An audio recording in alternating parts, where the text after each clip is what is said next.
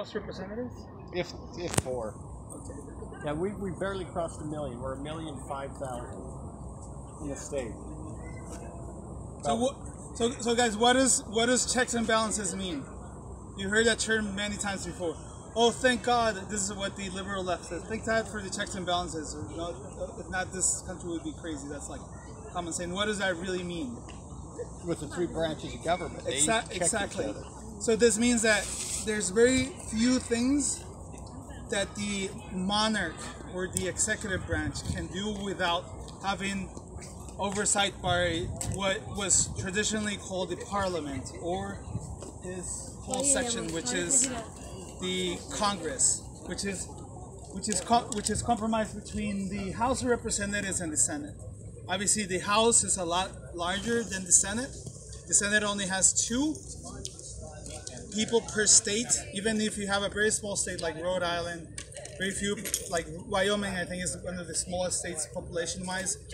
There's still two senators, but the uh, amount of people uh, that are House representatives is a lot, it's, it's directly proportional to the size of the state.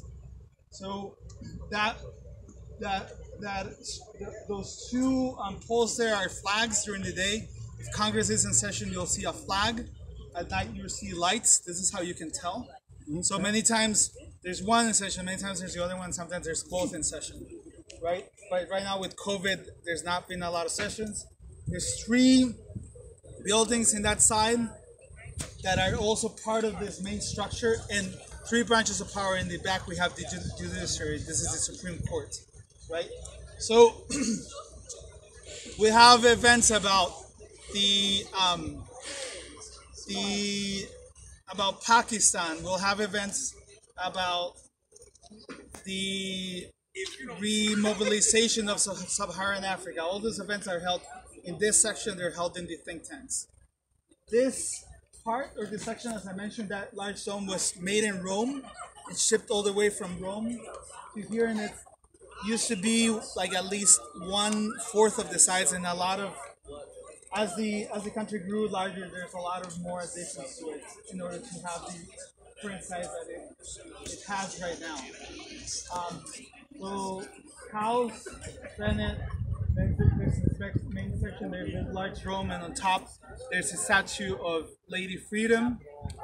That is a Native American, right? So nothing can be higher than freedom, at least in Washington D.C. Questions? And that, that section underneath is that a bell up there, is it what inside those columns? Yeah, it is a bell. That is a bell. Yeah, you can actually see it from the bottom. Okay. And when does it ring? I heard it a couple times, but not too many times. Not very often, then.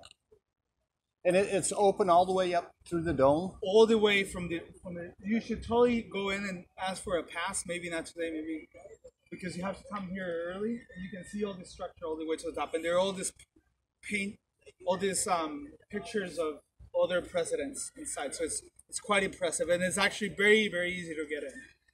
You Um, don't you don't need tomorrow? you don't need congressional approval. I'm not sure because of COVID, but it's very easy to get in if you want to. It's, getting into the White House is a mess. Getting inside the Congress is actually very easy, and there are tours all the time that are, by the way, free. Like all the Smithsonian institutions, they're also free. Newseum is not free. So, as we see here, if we turn to the back, we see the National Mall. I think we can fix that.